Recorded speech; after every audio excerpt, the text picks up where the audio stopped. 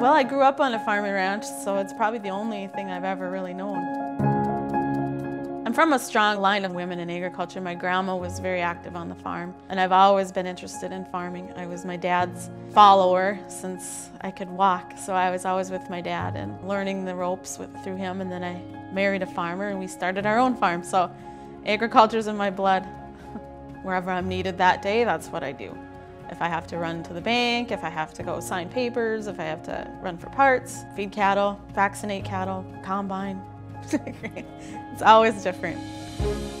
I'm a volunteer with North Dakota Common Ground, and what we do at Common Ground is try to educate city people on farming and where their food comes from, try and invite people out to our farms to just speak about our food and how proud we are of what we raise. There's a lot of things people don't know about farming. Probably the biggest thing is the amount of time that it takes and effort. I mean, we put all our money, all our savings, you know, it's part of our life and part of who we are.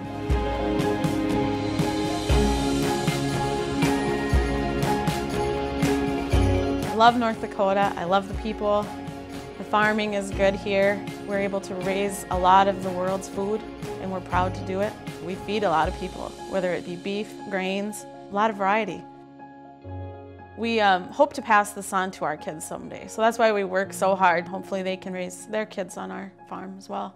It's just a great place to raise family.